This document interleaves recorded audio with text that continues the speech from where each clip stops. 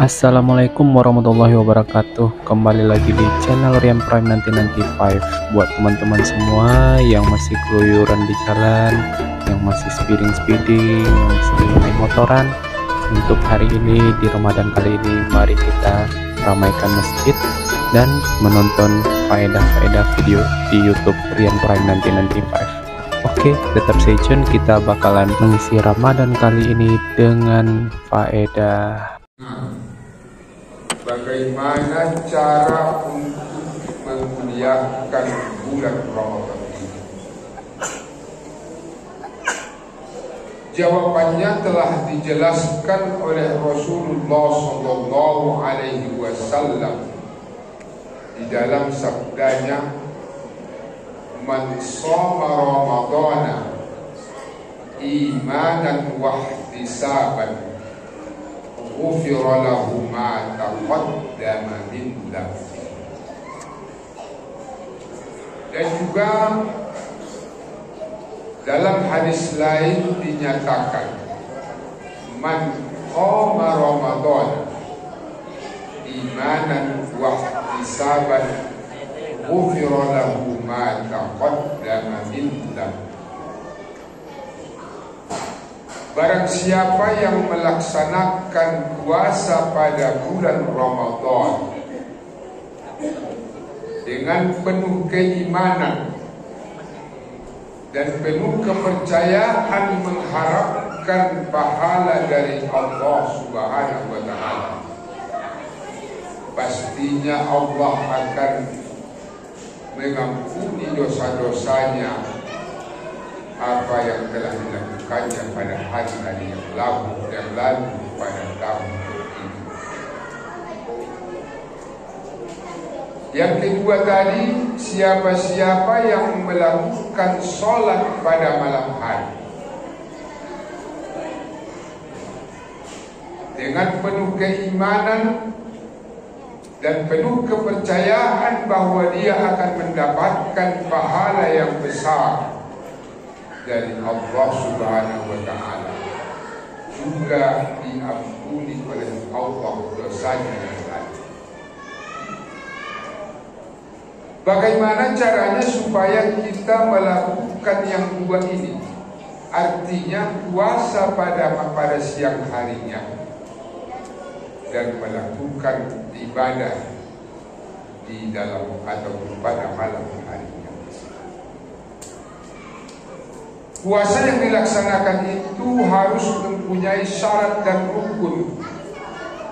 Makanya di sana tadi dikatakan imanan penuh keimanan bahwa kita yakin dan percaya bahwa puasa itu merupakan kewajiban kita. Dan kita yakin dan percaya bahwa Allah Ta'ala akan memberikan pahala yang besar kepada kita di dalam bulan Ramadan. Begitu juga dengan melakukan ibadah pada malam hari. Ibadah itu ada kalanya dengan melaksanakan sholat at-tarawih. Yang mana sholat at-tarawih itu, tarawih itu tidak akan kita dapati di bulan-bulan yang lain. Kita mengambil kesempatan Jangan sempat kita alfa Jangan sempat ada yang tinggal sholat tarawih kita. Karena ini peluang yang diberikan Allah kepada kita Mulai dari masuknya Ramadan sampai nanti malam terakhir Ramadan kita tetap berada bersama-sama melakukan sholat jamaah sholat at-tarawih di masjid kita. Kalau menurut Ustaz sholat atau jemaah-jemaah yang berada di lingkungan menteng ini ataupun di Masjid Al-Hidayah ini termasuk orang-orang yang kalau kita katakan dibandingkan dengan masjid-masjid lain ini termasuk adalah jemaah yang betul-betul sampai nantinya akhir menurut biasanya tidak banyak kurang seperti tahun-tahun yang lalu. Dan ini adalah merupakan satu tanda bahwa kita memuliakan bulan Ramadan ini dan kita akan mendapat pangkat nantinya di akhirnya yaitu yang dikatakan la'allakum tattaqun yaitu menjadi orang yang bertakwa kepada Allah Subhanahu wa taala.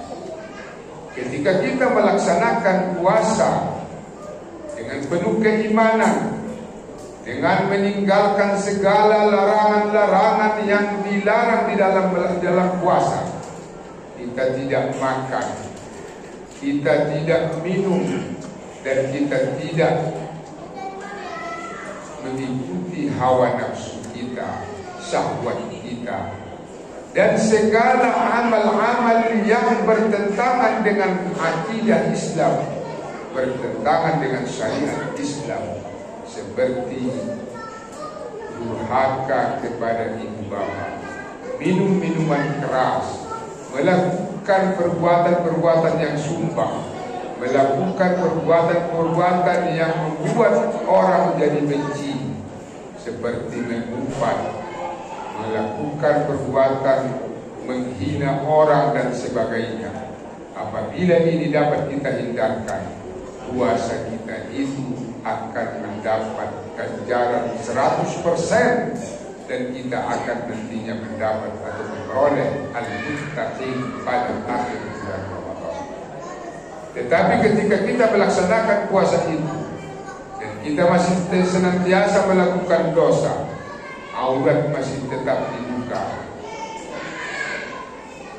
Mengumpat orang masih dilaksanakan, membenci orang masih dilaksanakan, memutuskan silaturahmi, durhaka kepada ibu dan bapak, durhaka kepada suami, dan melakukan hal-hal yang tidak baik. Berarti kita tidak mendapat pangkat orang-orang yang ikut serta di dalam memuliakan bulan Ramadan. Oleh itu, puasa ini menjadi madrasah kepada kita.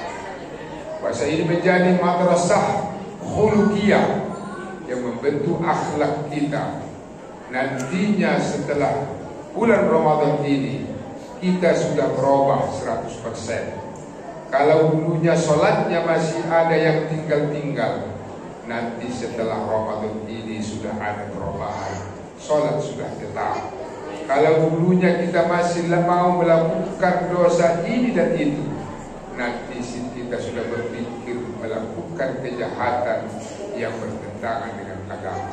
Semua apa yang ada pada diri kita, kita berubah menjadi orang yang terbaik, maka kita akan mendapat pangkat la'allakum tattaqun. Oleh itu puasa kita ini kita jaga. Kita jaga puasa kita ini dengan melakukan segala yang baik. Pada siang harinya kita boleh beribadah, melakukan ibadah sehari-hari. Baik ibadah itu yang berkaitan dengan dunia ini. Kita boleh bekerja seperti biasa, tetapi berbaiki niat. Karena niat yang baik itu, walaupun kita lakukan amal-amal yang bukan berbentuk ukhrawi, dia berbentuk duniawi. Umpamanya kita bekerja, apa saja bentuk kerja kita, baik di kantor, baik di mana-mana, baik menjadi pekerja buruh dan sebagainya.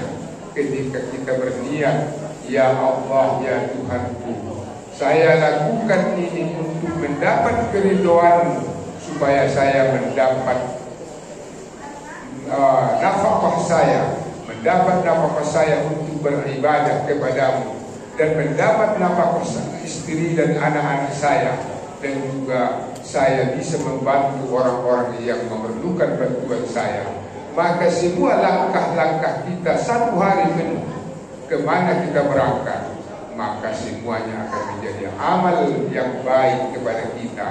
Digolongkan amal duniawinya itu menjadi amal ukhrawi. Jadi ketika di siang hari kita sudah dikirim sudah